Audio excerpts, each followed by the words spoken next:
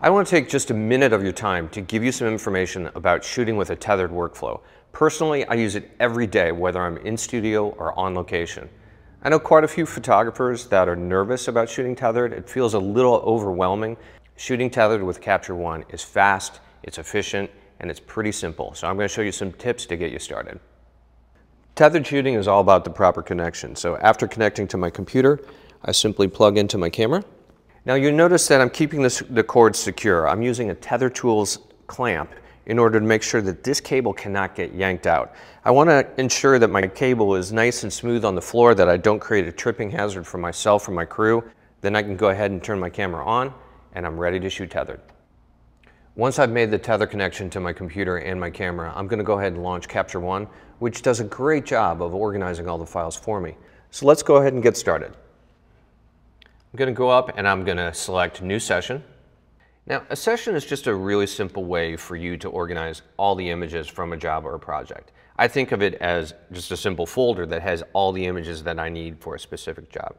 Now, let's go ahead and I'm going to create a session for GOA Skincare and I'm going to show you where it lives in the Finder. I'm going to go ahead and title this according to the product. And I'm going to select where I want it to go. And in this case, I'm actually going to shoot to an external drive and I'm going to hit choose and OK, and we're ready to go. Now you can see right here in this very first section, the camera window has come up and it's giving me all the information about my camera.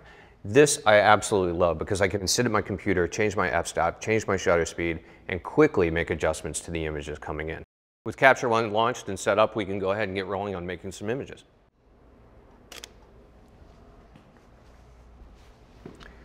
So with Capture One, the image I just shot comes up in the main window and all the subsequent images will come on the side. So you can see how quickly I can make adjustments here. I'm just going to drop down to F20. If I grab the loupe tool and I go up to it, I can take a detailed look at the focus. So I can know right away if I'm tack sharp or if I need to make an adjustment. I can also go up to my crop tool and I can quickly crop my image a little bit in order to get rid of some of the excess background, simply click on the hand tool and there's my crop. So one of the things that's really nice, I can make quick adjustments and sometimes with product, I want to actually do a little bracket in order to make sure that I've got all the detail and I can quickly do that and you can see the selections coming up here on the right. I really like the way this is simplified so that I can have all my tools on the left, the main image I'm currently working on right in the center, with all the subsequent images that I'm shooting on the right.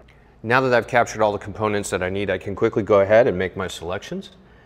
Simple as just starting the images that I like. Now that I've made my selections, I'm gonna go up to View, Sort. I'm gonna go by rating.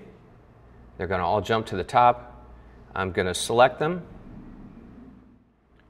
I can simply grab my selections, drag and drop them right into the select folder, and I'm ready to go.